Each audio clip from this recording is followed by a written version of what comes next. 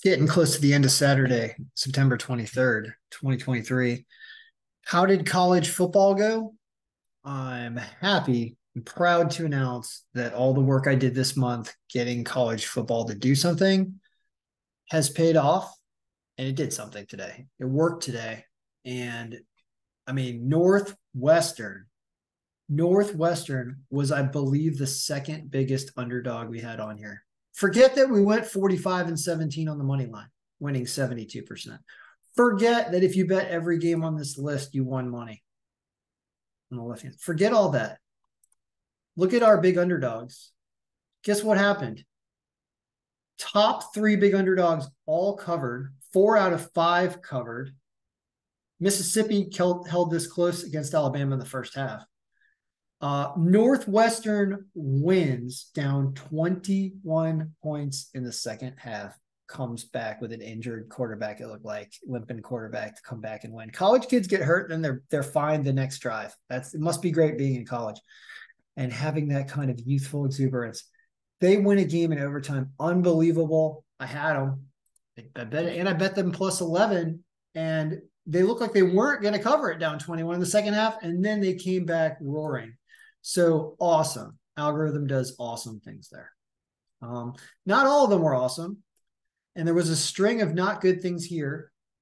Memphis doesn't cover six and a half, loses by seven, I think. They kept trying to come back, but they couldn't get there.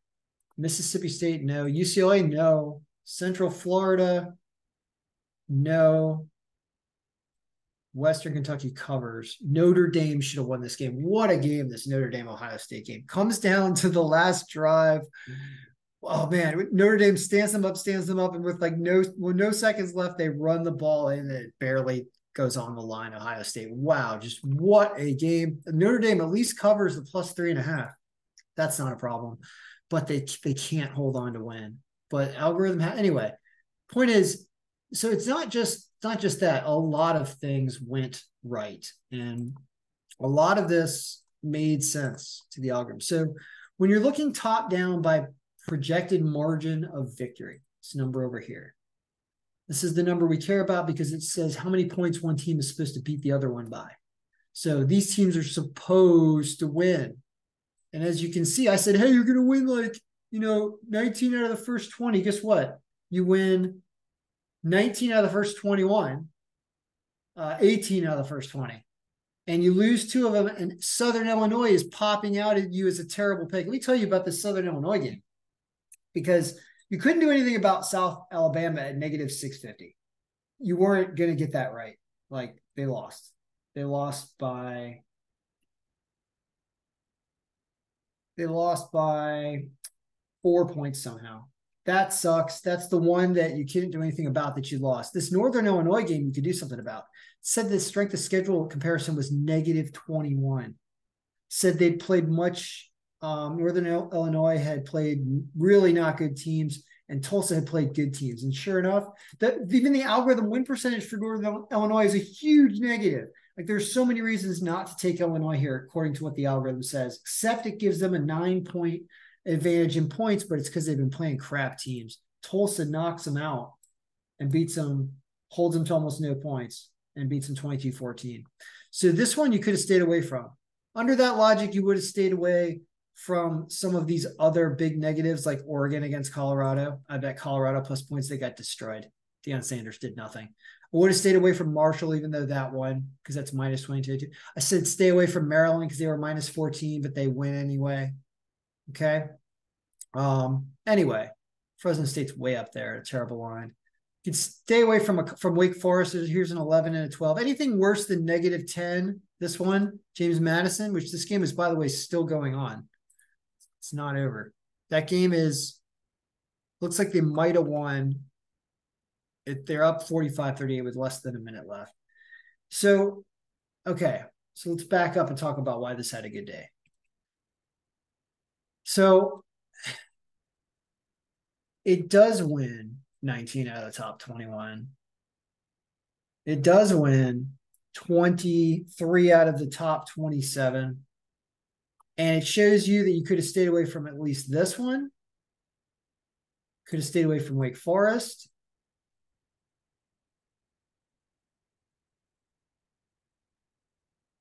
Could potentially have stayed away from Mississippi but plus the points you were supposed to take up. Massachusetts lost in overtime, another super close one.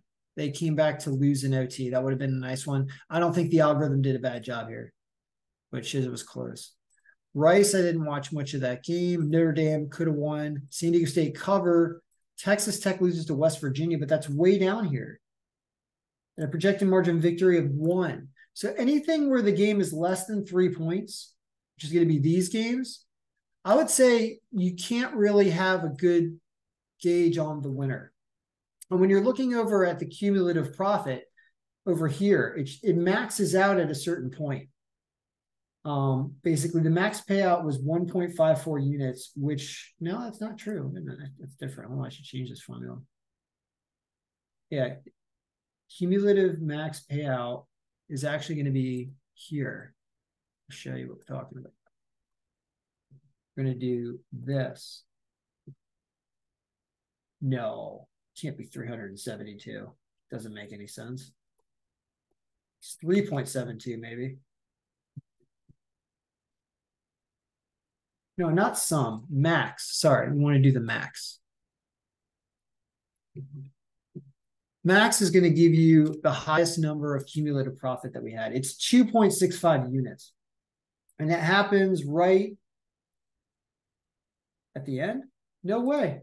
It happens by betting every almost every single game and stopping way, way down here because you hit some underdogs. Interesting. So we're sort of where's the Northwestern game? How far down is that? I think you have to have that, right? Northwestern games are all the way down here. Yeah, that's at a plus 340, and that really, really helps out. Yeah, that's what drives profit up from negative. So it really wasn't good down here until you catch that Northwestern game. That's why it's really good to, pick teams that had really good lines. Was it Louisville, I guess? No, um, Louisiana, I think it was against uh, Louisiana Tech, uh, whoever it was against um, Nebraska. That one, they did cover. They came back and, and covered, only lost by, I believe, 14. So anyway, there's a lot, there's just a lot of good in here, guys. It's saying that premium stuff top down won a lot, especially when strength of schedule was confirming. And that's why when you see these strings of wins, some of these lines were bettable. You, you really hardly miss except for South Alabama. App State loses a close one in Wyoming. Does not go over. Oh, yeah, over unders. The other thing I wanted to talk about. So I built this over under comparison. And up until one of the very last games that went to overtime, unfortunately, the Akron Indiana game, up into that game, the extreme unders were doing great. That means when the over under variance number here is really, really low, like minus 13. We said this there's 13 points less than the listed over under. The game goes under and we win it. See, like this one, this one, this one, this one's wrong. And I bet you that's the Akron game. I think so. Yeah, I think that is the. They were going under the whole time until they went to overtime and both scored touchdowns. This one wins. I mean, this is incredible. That means when you got an over under variance number of of wor- lower than negative ten, it won every single time except for the game that went to overtime and had two teams score touchdowns in overtime to screw you up. Somebody Akron missed a field goal at the end of regulation that would have ended this game, and, and I would have won my bet. I had a bet on that. And by this point, I was betting all the unders because I saw they were all winning. And that's so sad. But but that's the kind of thing that gets you beat that's out of your control. This game goes overtime, it goes over. But otherwise, man, the unders were just crushing life. The over did not. That game with uh, Wyoming and App State and Wyoming did not go there. But those ones, I mean, that's that's incredible. Like when you when you can hit, you know, drastically, we hit all those. It was like a Jacksonville State game, the UCLA game, the Georgia State game from Thursday night, the Tennessee game, which barely, barely, barely stayed under 59 and a half at 59. So that was a close one. Yeah, the Indiana Akron game, you lose because it goes to overtime. And then the Jacksonville State game, the lowest one of all of them, ends up only having 21 points in it. You see that, everybody? That's what the algorithm does. That's the beauty of the algorithm right there. Just a purely technical question. Hey, algorithm, what's the game that has the largest point disparity where our, our algorithm chooses the under? It said Jacksonville State versus Eastern Michigan. We said there'd be 32 of a projected 51 points and there ends up being 21. Yeah, crush it. Crush it. So you do that stuff like that next week for sure. So the that's what I'm saying. The algorithm did some awesome, awesome things today.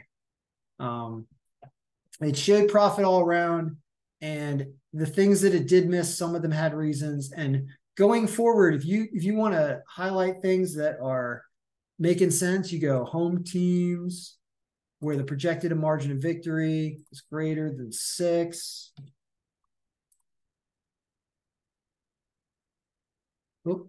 What? Hold on. The projected margin of victory, no, not algorithm 1%. The projected margin of victory is greater than six. 10 and three, losing this game you wouldn't play in Northern Illinois, and losing with Wake Forest all the way down there that is not profitable actually because the lines are so bad. So you don't necessarily bet this. And some of these games aren't even over yet. No, I mean you just read it game for game is what you do. You focus on the over-unders and you focus on a lot of these teams that are supposed to win up here. The higher they are on the list, the more likely they win. And when you get down to the bottom there, you show all of them, you see that it does get checkered down at the bottom more. Right? It still did better than average. There's less red pink than there is green. There's still more streaks of green, and your chunks of red are never more than two in a row, which is pretty good. Right? Like this, this down here at the bottom looks like random noise right here. See that? Three and three. That's random noise. This is not random noise. Look at Northwestern was not random noise, and this is not random noise. This is another way to see that. How many of your teams are, are covering the spread down here? Of those 15, it's 12 and 3, everybody, the bottom of the list. But then you have a chunk of losses here. So this is more random noisy, but not here. This is good all the way up top and watch out for the games with the bad strength of schedules. And this is, of course, perfect. So you could say that the algorithm won the top 14 games on the list, assuming Southern Cal and Fresno State hold, which are going on right now. Uh, I think there's a Washington game also going on right now. Um, 1231, 1029. USC's up 21 10. Akron lost. Hold on. Akron lost to Indiana, everybody that game in overtime that would never end and ruined my overtime. That game ended up being in week five, Akron losing with 27, losing to Indiana's 29. See if that changed anything. Still 45 and 17. I guess we had Akron and we lost. I think so. Anyway, guys, no, we did not have Akron. We had Indiana. Um, anyway, yeah, sorry. All I want to say is after all this long video, I'm I'm glad I, I paid attention to some of these games today and watched the algorithm mature into something that's now doing something. And it's working more accurately because we're taking into account injuries, we're doing some point projections based on players, and we're looking at current schedule where it's conference games only when we're looking at certain scores home and away. And because of that, as we progress into the future weeks, it's going to keep doing smart things where it picks up just abnormal stuff like scores on games and teams that should win, and a lot of them covering. All right. So good luck. I hope your picks won today. Might some of my picks won today, not all of them, but some of them did. So it was it was a good day. And Mail, your picks be winning.